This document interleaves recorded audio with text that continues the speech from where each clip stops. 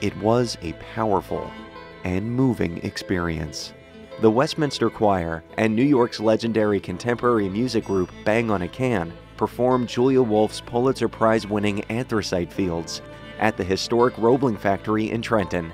There is something special about entering into a factory space where a different kind of group activity happened.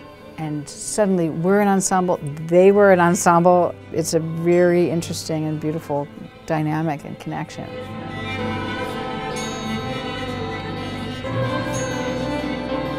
This piece in this space is extraordinary. You're in a space that was completely run by anthracite coal. It, it, took that kind of power to make the steel for building, like things like the Brooklyn Bridge. Those things combined together in, the, in this cathedral to industry. The piece explores the history of mining in Pennsylvania's anthracite coal region. I just became fascinated with what, what was that industry and the more I got into it, the more amazed I was at, at what, what happened there. The labor movement, economic justice, and our profound dependency on energy are all themes woven throughout the work. One part of Anthracite Fields tells the story of the Breaker Boys, some as young as eight years old.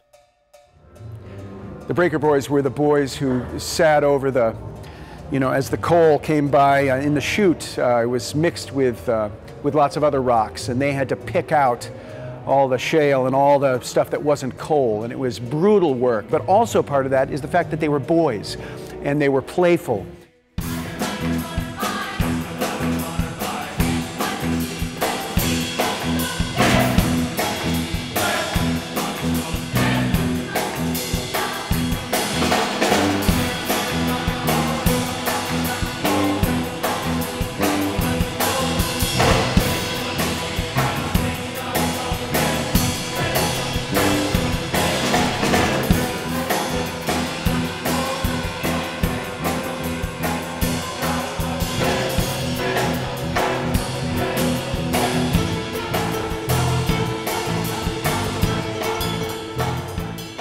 Came across this one video of John L. Lewis, who was the head of the United Mine Workers Union.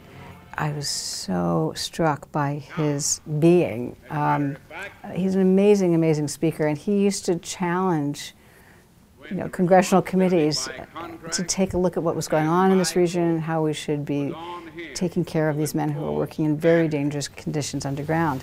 Now, on this particular day of our Lord, Mr. Krug has found 518 mines that he shuts down because they're unsafe. May God in heaven forgive him for not finding those out before and taking action long delayed before these men died. He would hold them to it and just say, you know, we owe protection to these men if we must grind up human flesh and bones in this industrial machine that we call modern America. He's, it's poetic. I don't, I don't know if people don't talk like that anymore. If we must grind up human flesh and bones in this industrial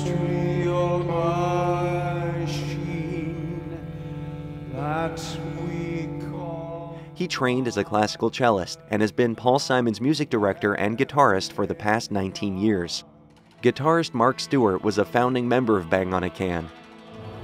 I play the guitar for the entire piece, but in one movement called speech, I stand up and I sing.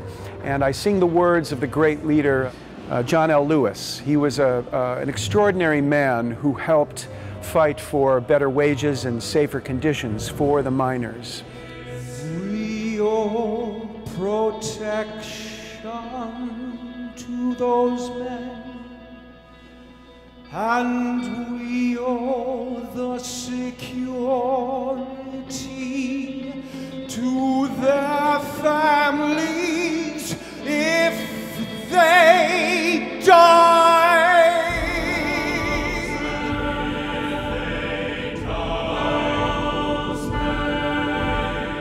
first it was daunting, but now I, I am so uh, I am so inspired by by his words and by Julia's setting of those words. I'm ready for it every night, and I, and I, I am honored to, to be in the position to, to sing those words.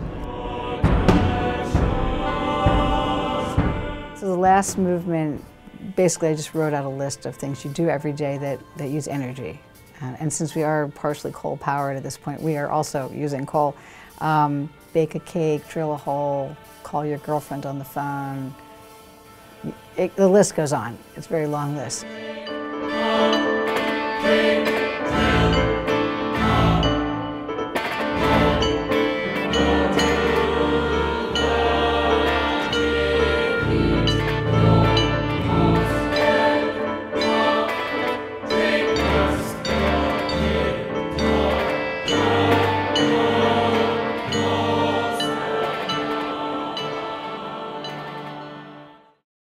The New Jersey State Council on the Arts, encouraging excellence and public engagement in the arts since 1966, is proud to co produce State of the Arts with Stockton University, New Jersey's distinctive public university.